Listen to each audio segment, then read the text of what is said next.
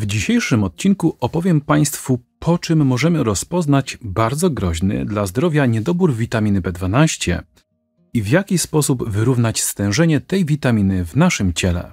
Opowiem o tym, jak każdy z nas może zdiagnozować u siebie niedobór tej witaminy, nawet nie mając wykształcenia medycznego czy specjalistycznej pomocy lekarskiej. W tym odcinku dowiesz się także, kto jest najbardziej narażony na niedobory oraz jak kompleksowo podejść do tematyki wyrównywania poziomu tej witaminy w naszym organizmie, podchodząc do tego trójtorowo. Czyli po pierwsze, eliminując przyczynę po jej rozpoznaniu, dwa, stosując odpowiednią dietę i trzy, stosując suplementy lub ewentualnie zastrzyki z witaminą B12 u lekarza. Ale zanim przejdziemy dalej, opowiem Państwu, dlaczego dzisiejszy odcinek jest tak istotny.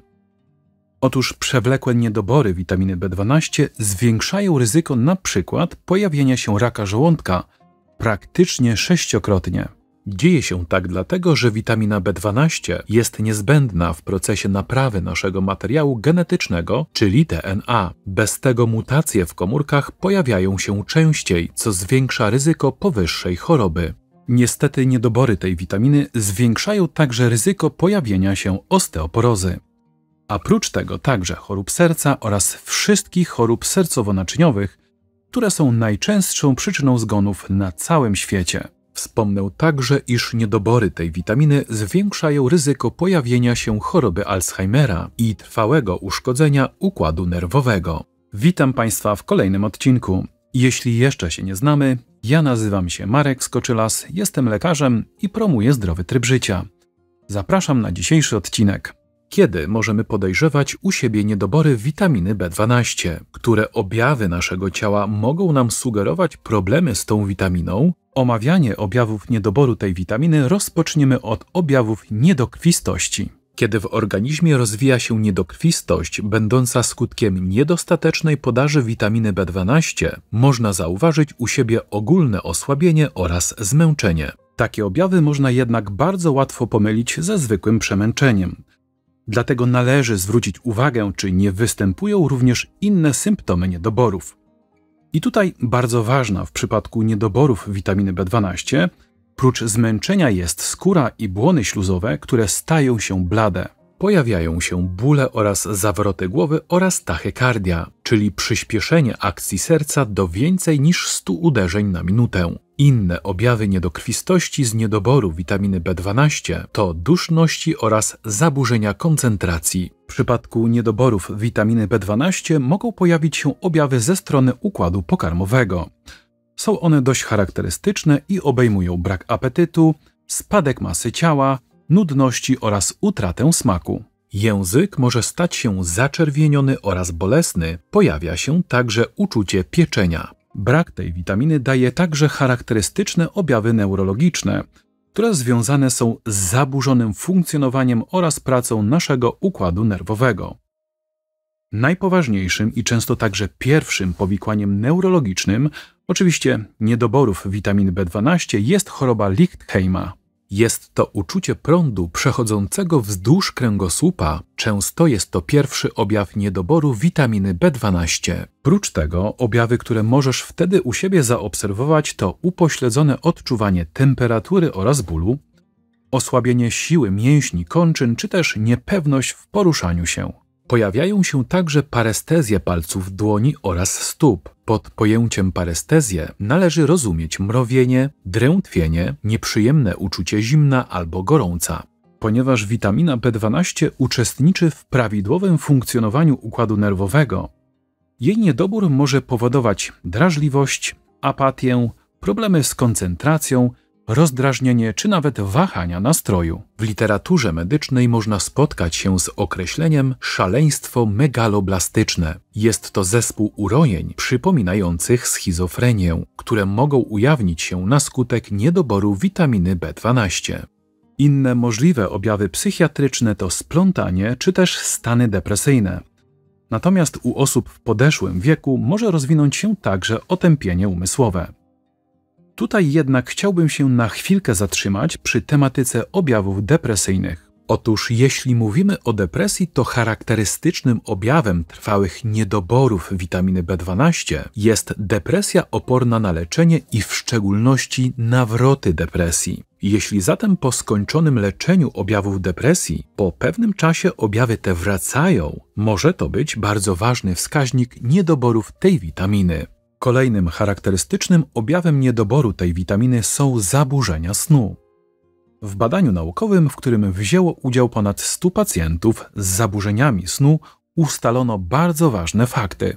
W badaniu tym dowiedziono, że podawanie witaminy B12 w postaci suplementów diety poprawiło parametry związane z zaburzeniami snu. Pamiętaj także, że niedobory tej witaminy mogą predysponować do różnego rodzaju wysypek skórnych, które mogą przypominać atopowe zapalenie skóry, czyli taką typową wysypkę z zaczerwienieniem. Jeśli zatem zobaczysz u siebie zmiany skórne, które przypominają atopowe zapalenie skóry, upewnij się, czy masz prawidłowy poziom witaminy B12 w swojej krwi. Dodać również należy, że u mężczyzn mogą pojawić się zaburzenia erekcji, oczywiście w wyniku podwyższonego poziomu homocysteiny. Przypomnę, że podwyższony poziom tego aminokwasu pojawia się w przypadku zmniejszonego stężenia witaminy B12, ponieważ witamina ta bierze udział w jego metabolizmie. Pamiętajmy także o tym, że objawami niedoboru tej witaminy mogą być dwa rodzaje zaburzeń widzenia. Jednym z przewlekłych objawów niedoboru tej witaminy jest zwyrodnienie plamki żółtej. Drugim częstym zaburzeniem są zaburzenia widzenia w wyniku najprawdopodobniej uszkodzenia samego nerwu wzrokowego. Jeśli zatem zauważyłeś u siebie pogarszający się wzrok, powinieneś brać także pod uwagę możliwość, iż dysfunkcje te pojawiły się właśnie w wyniku niedoborów witaminy B12. Zbyt małe stężenie tej witaminy może także powodować poważne problemy w układzie kostnym, predysponując osoby w szczególności w wieku starszym do rozwoju osteoporozy. Więc jeśli zdiagnozowano u ciebie osteoporozę lub stadia wczesne charakteryzujące się zmniejszoną masą kostną, możesz swoją diagnostykę rozszerzyć o poziom witaminy B12. Co do pozostałych objawów niedoboru tej witaminy, to trzeba koniecznie zwrócić uwagę na zaburzenia słuchu, żółtawe zabarwienie skóry, przedwczesne siwienie, zaburzenie oddawania moczu oraz wypryski skórne.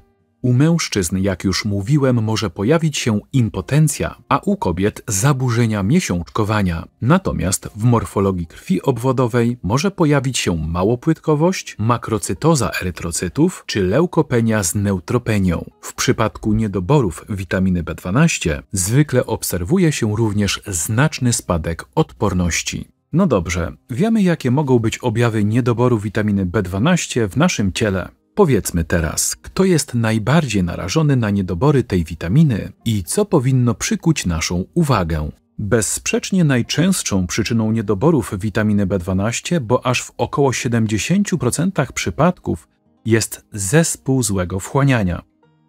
Otóż nie sposób w odcinku o witaminie B12 opowiedzieć o tym, czym jest zespół złego wchłaniania, bo na ten temat trzeba zrobić oczywiście cały odcinek. Niemniej jednak chciałbym tutaj zwrócić uwagę na kilka rzeczy. Zespół złego wchłaniania może powodować zarówno niedoczynność, jak i nadczynność tarczycy. Poza tym niedoczynność oraz nadczynność przytarczyc. Natomiast w zakresie zespołu złego wchłaniania musimy pamiętać, że bardzo często jest on skorelowany z obecnością bakterii Helicobacter pylori w naszym żołądku, która to bakteria powoduje zanikowe zapalenie żołądka. To z kolei działa dwutorowo. Po pierwsze, utrudnia to oddzielenie witaminy B12 od białek z pokarmów, z którymi witamina ta jest związana, a po drugie, zaburza pracę czynnika Kastla, niezbędnego do wchłaniania tej witaminy. Dodatkowo różnego rodzaju nietolerancje, w szczególności na sacharozę czy też laktozę, także mogą powodować problemy z witaminą B12. Oczywiście różnego rodzaju problemy i choroby jelitowe, takie jak choroba leśniowskiego krona, czy wrzodziejące zapalenie jelita grubego, czy też rozrosty bakteryjne związane z dysbiozą. Kolejna nie mniej istotna przyczyna niedoborów tej witaminy to nasze wybory dietetyczne, które oczywiście są ukierunkowane na ograniczenie spożywania mięsa w naszej diecie. Mowa tutaj oczywiście o wegetarianizmie lub też o osobach, które nie spożywają mięsa poprzez swoje przekonania religijne. Jeśli wegetarianizm połączony jest z wcześniej wymienionym punktem, czyli zaburzeniami wchłaniania, to niedobory witaminy B12 mogą być bardzo głębokie i niebezpieczne dla życia. Mówiąc o możliwych niedoborach, chciałbym dodać kolejny bardzo ważny punkt. Otóż pamiętajmy, że niedobory tej witaminy może powodować także lek, który nazywa się metformina, który jest najczęściej przypisywanym lekiem u chorych na cukrzycę typu drugiego. Warto o tym pamiętać, gdyż cukrzyca jest bardzo częstą chorobą w Polsce, na którą choruje kilka milionów osób. I to właśnie te kilka milionów osób regularnie przyjmuje ten lek. Jeśli zatem chorujesz na cukrzycę i przyjmujesz metforminę oraz masz objawy wymienione w dzisiejszym odcinku, to zbadaj sobie poziom witaminy B12. Jeśli jesteśmy już przy tematyce leków, to pamiętajmy także, że inhibitory pompy protonowej, czyli leki wykorzystywane w leczeniu wrzodów żołądka, także zaburzają wchłanianie witaminy B12. To w konsekwencji może prowadzić do niedoborów tej witaminy. No i w końcu pigułki antykoncepcyjne to kolejna grupa, która poprzez badania naukowe jest powiązana z niedoborami tej witaminy. Niestety, zgodnie z wynikami badań naukowych, również regularne spożywanie kawy może przyczynić się do obniżenia poziomu witaminy B12, ale także innych witamin z grupy B. Identyczne działanie ma regularne spożywanie alkoholu oraz palenie papierosów. Jak zatem pozbyć się niedoborów witaminy B12 w naszym ciele? Leczenie niedoborów tej witaminy powinno odbywać się trójtorowo. Przede wszystkim trzeba wyeliminować przyczynę, to jest najważniejsza rzecz. Po drugie, zmieniamy nawyki żywieniowe, czyli dodajemy witaminy B12 w naszej diecie. I po trzecie, oczywiście chodzi o suplementację pierwszej kolejności w badaniach laboratoryjnych trzeba określić stężenie całkowitej witaminy B12. Przyjmuje się, że wartości w zakresie od 200 do 1000 nanogramów na litr są zakresem referencyjnym uznawanym za normę. Mówiłem o tym w jednym ze swoich poprzednich filmów. Co jednak bardzo ważne, wartości w przedziale od 200 do 300 nanogramów na litr uznaje się za wartości graniczne ale sprawdź proszę mój film na temat diagnostyki witaminy B12. Po jego obejrzeniu zrozumiesz, jakie są prawidłowe metody diagnostyczne i właściwe poziomy tej witaminy we krwi. Pamiętaj proszę, nie zawsze niskie poziomy tej witaminy oznaczają potrzebę jej uzupełniania, gdyż bywają osoby, dla których te niskie stężenia są fizjologiczne. Jeśli uda Ci się poznać przyczynę niedoborów witaminy B12 w Twoim ciele, to pamiętaj, aby równocześnie do diety włączyć produkty mięsne, takie jak wątróbka wołowa i cielęca, wątróbka drobiowa, nerki cielęce czy też wołowe, mięso królika, mięso drobiowe oraz mięso indycze. Bogate w tę witaminę są także ryby, takie jak tuńczyk, szczupak, łosoś, makrela, śledź, dorsz, sardynki, a także skorupiaki, np. ostrygi. Źródłem witaminy B12 są także jajka, sery, mleko oraz drożdże spożywcze. Niektóre płatki śniadaniowe wzbogacone są w tę właśnie witaminę, podobnie jak niektóre napoje roślinne. Szczególnie weganie powinni zwrócić uwagę na produkty roślinne wzbogacone o tę witaminę. Dlatego tak ważne jest czytanie etykiet. A co z suplementacją? Suplementacja witaminą B12 jest bezpieczna, ponieważ nadmiar witaminy B12 usuwany jest z organizmu wraz z moczem. Witamina B12 nawet w dużych dawkach nie jest toksyczna, choć przy większych stężeniach mogą wystąpić reakcje uczuleniowe. Witaminę B12 możemy kupić dosłownie wszędzie, przykład w aptece bez recepty. Suplementacja witaminą B12 jest konieczna w przypadku osób, które nie spożywają mięsa ani nabiału. W suplementach diety najczęściej występuje cyjanokobalamina, choć ostatnio na popularności zyskuje metylokobalamina. Ale w aptekach możemy dostać także witaminę B12 połączoną z kwasem foliowym i to jest bardzo ważne. Obie te witaminy mają kluczowy wpływ na funkcjonowanie naszego układu nerwowego. Również niedobór kwasu foliowego może prowadzić do rozwoju niedokrwistości megaloblastycznej. Warto przy tym mieć świadomość, że znaczne ilości suplementowanego samego kwasu foliowego w naszym ciele mogą maskować skutki niedoboru witaminy B12. Dlatego zasadne może być oznaczenie w badaniach laboratoryjnych również poziomu kwasu foliowego. Jak mamy to rozumieć? Otóż kwas foliowy i witamina B12 są nam niezbędne do wytwarzania czerwonych kwinek, a ich niedobór może powodować anemię. Spożywanie dużej ilości kwasu foliowego może wyeliminować anemię i jej objawy, pozostawiając ciebie i lekarza bez najbardziej oczywistych oznak zbyt małej ilości witaminy B12, czyli anemii.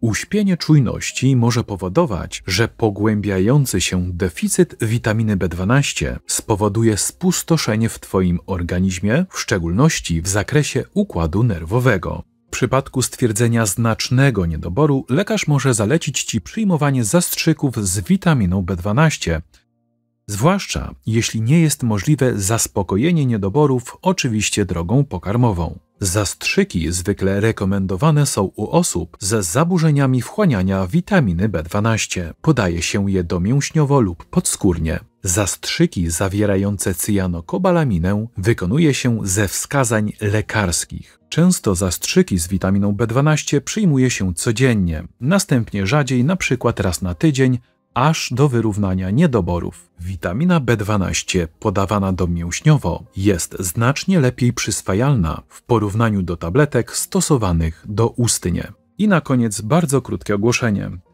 Wciąż otrzymuję od Państwa to samo pytanie. Gdzie można kupić suplementy diety mojej marki, czyli suplementy Skoczylas? Szanowni Państwo, o suplementy diety mojej marki pytajcie w sklepach ze zdrową żywnością, w zielarniach oraz dobrych aptekach. I to tyle. Na dzisiaj z mojej strony to wszystko. Serdecznie dziękuję Państwu za uwagę i jak zawsze zapraszam Państwa do następnego odcinka. Do usłyszenia.